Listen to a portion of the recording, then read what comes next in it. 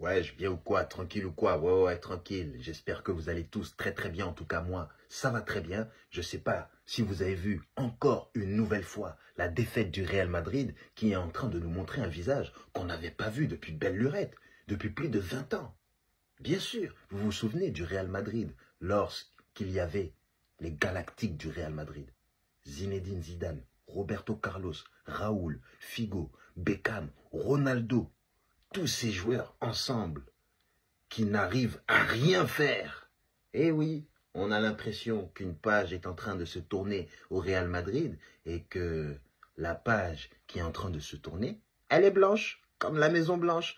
Peut-être que le Real Madrid va avoir besoin d'un temps d'adaptation parce que là, il y a trop de stars dans l'équipe. Il y a des stars françaises, des stars espagnoles, des stars brésiliennes, des stars turques, des stars uruguayennes. Il y a des stars de, n'importe quel pays. Le Real Madrid, ce n'est plus le Real Madrid, c'est la nouvelle star. la Star Academy. Et voilà.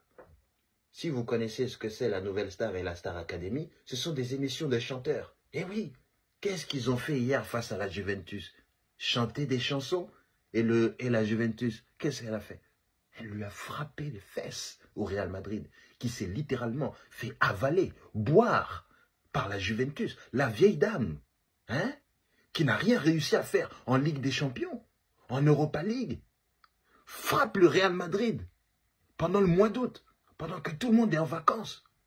Le Real Madrid se fait fracasser la bouche par la Juventus. Franchement, je ne sais pas ce que va donner la saison du Real Madrid, mais j'ai l'impression qu'on va avoir des surprises pas très drôles et qu'on va bien se moquer du Real Madrid parce qu'on va pas se mentir, pendant des années, vous avez roulé sur l'Europe pendant plus de je ne sais pas combien de temps, mais là j'ai l'impression euh, que ça va être un petit peu plus compliqué que d'habitude parce que normalement vous perdez que contre l'UFC Barcelone. Si vous commencez à perdre contre la Juventus, vous allez commencer à perdre aussi contre l'Atlético Madrid, contre Saint-Étienne, contre Sochaux, contre le Bayer Leverkusen, contre euh, euh, contre Cagliari ou je sais pas quoi, mais ça va être du grand n'importe quoi.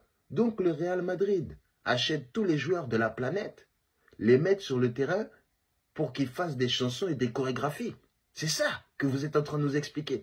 Là, mesdames et messieurs, je pense même que si Mbappé rejoint cette équipe, ça va être un petit peu compliqué pour M. Mbappé. Eh oui, Mbappé me fait un petit peu penser à Ronaldo. Ronaldo qui a tout gagné, sauf la Ligue des Champions. Peut-être que Mbappé va écoper de cette malédiction aussi. Hein? Donc, Mbappé, va pas au Real Madrid. Non, non, non, ne fais pas ça. Reste au Paris Saint-Germain, tranquillement. Là, on est en train de te recruter des joueurs d'une qualité incroyable. Là, on a Ousmane Dembélé. C'est pas fini on va aller chercher Gonzalo Ramos, Colomwani, on va tout faire pour que l'équipe du Paris Saint-Germain hein, soit une équipe compétitive au niveau international.